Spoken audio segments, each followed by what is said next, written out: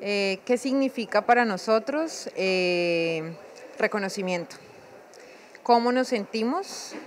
Eh, felices. El sentir de Catalina Espinosa, médica residente en fisiatría en el Hospital Universitario del Valle, es general no solo entre los otros 229 residentes de la Universidad del Valle, que al igual que ella, a partir de noviembre recibirán pago por un trabajo que hasta ahora se sostenía por su vocación de salvar vidas y de especializarse. Muy difícil uno, por lo menos en cuatro años, sostenerse, trabajar en ocasiones eh, más de las horas normal que cualquier jornada laboral debe de tener, sin remuneración. ¿sí? Entonces, le damos muchas gracias a la gobernadora que nos haya escogido para iniciar este proceso. Es el sentir de la comunidad académica de Univalle, que reconoce la gestión de la gobernadora Ilian Francisca Toro para este logro en la salud y lo que significa para estos médicos. Parece que fue un avance muy importante el que se ha logrado que eh, pues los médicos residentes obtengan un pago por una labor que en última es un trabajo que beneficia a la comunidad. Pienso que es un paso fundamental y que va a apoyar en gran medida a nosotros los estudiantes y después mucho a la futuro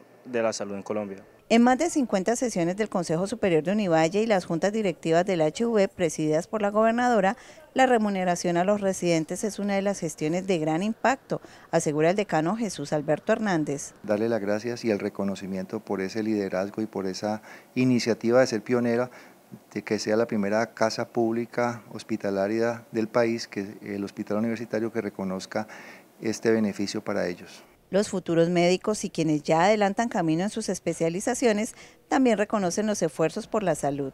Darle el agradecimiento a, la doctora Dilian Francisca por este avance y qué bueno que sea eh, el Valle pionero en, este sentido, dar ejemplo. Unas gracias, la verdad. Creo que Colombia era de los pocos países que no aplicaba esta ley de residentes y que es un, un hito histórico para nosotros. Que ella sea la primera gobernadora pues, del país que tome la iniciativa de hacerlo.